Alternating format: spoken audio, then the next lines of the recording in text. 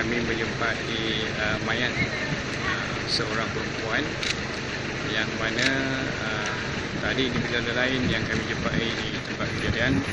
dan uh, keadaan uh, mayat telah mati kami uh, keadaan mayat uh, yang mana kami percaya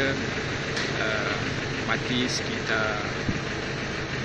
uh, 24 jam atau kurang daripada 48 jam